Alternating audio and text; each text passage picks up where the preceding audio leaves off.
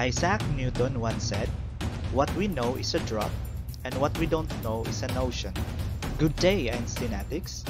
We will be focusing all our brain cells in exploring Isaac Newton's laws of motion. We will be delving with the concepts of force for starters, and stepping it up with law of inertia, acceleration, and law of interaction. I'm Sir Janus, your guide towards learning all these concepts. Gentle reminders before proceeding. Feel free to pause the video anytime to soak up the concepts. Pause the video, especially when answering the assessments or activities. You may use separate papers for your answers or you may download the module provided by the link on the video description. And most important of all, please don't forget to subscribe so that you will be updated for more educational videos.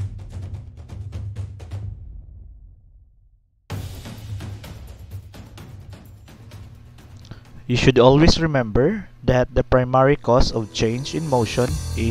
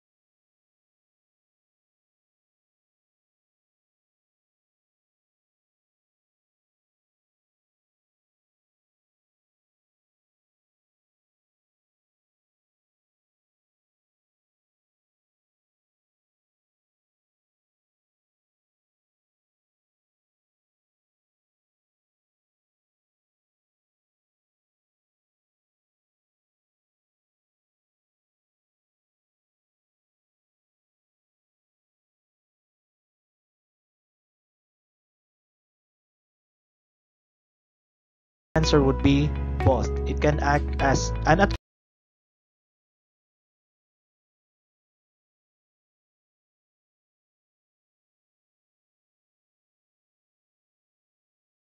It can cause motion or movement, stop a moving object.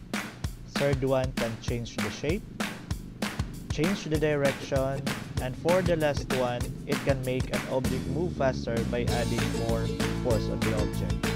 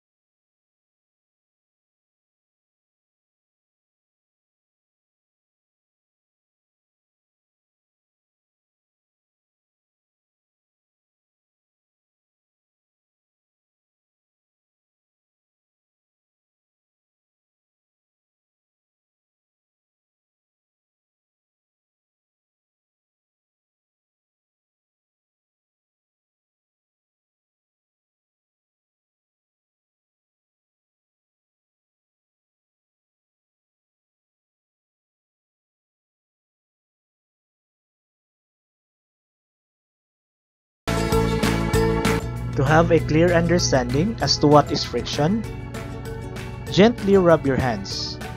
What have you observed? You might have noticed that eventually they get warm, meaning there is a resistance to the rubbing motion. Now, what is the name of this resistive force called? It is now called as friction. When we talk about friction, this is a type of force that always acts in the opposite direction to which an object is moving and slows it down. And what causes this force? Your hand might look smooth, but on a microscopic level, they have rough surfaces. So when you rub your hands together, you feel the resistive force of friction.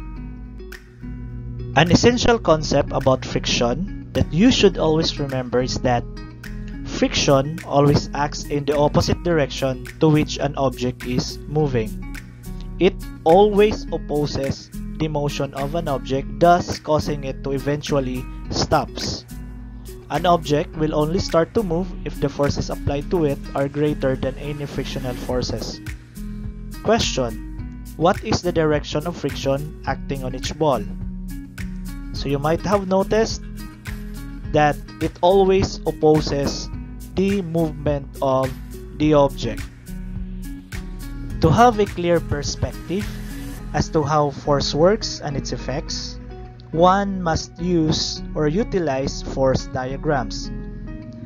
Force diagrams uses arrows to show the forces acting on an object. The direction of each arrow shows you the direction of each force and the size of each arrow can be used to compare the sizes of the forces. Usually, um, these are written using now the net force or the force acting on an object and is usually expressed in newtons.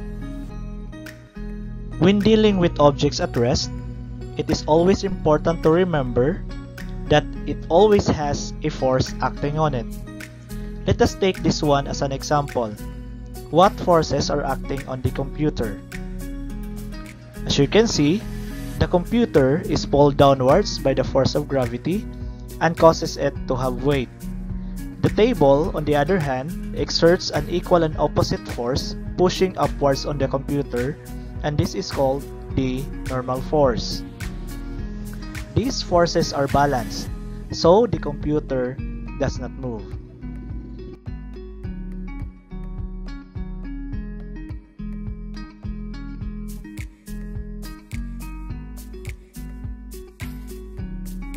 Essential concepts when dealing with balance and an unbalanced force. If the forces on an object are balanced, the object will continue to do what is already doing without change. Specifically, if it is stationary, it will remain stationary. And if the object is moving, it will continue to move at the same speed and in the same direction. On the other hand, if the forces on an object are unbalanced, two things about the object can change. First, the speed. The object may speed up or slow down. And last one will be the direction of motion. Quick questions. You will only be given 30 seconds to answer the following. First question. If an object is stationary, meaning at rest, unbalanced forces act on it, what will happen to the object? For 30 seconds,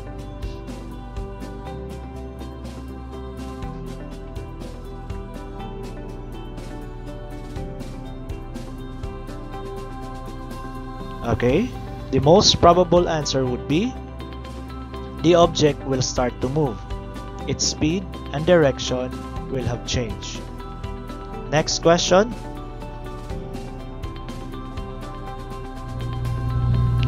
If an object is moving and unbalanced force act on it, what can happen to the object? So another 30 seconds for this one.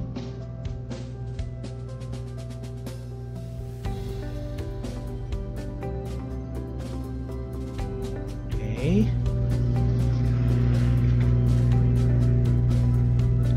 So, the most probable answer for this one is The speed of the object can change. It might speed up or slow down.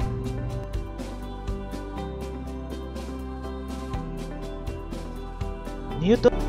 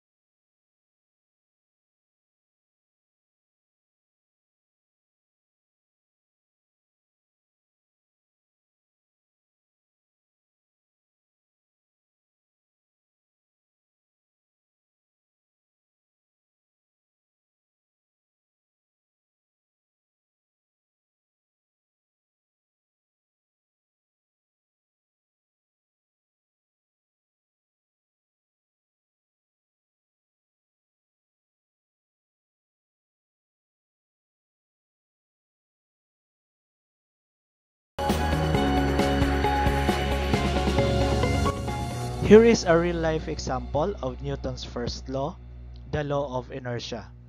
This is the reason why authorities always reminds us to wear seatbelts. This is because of inertia.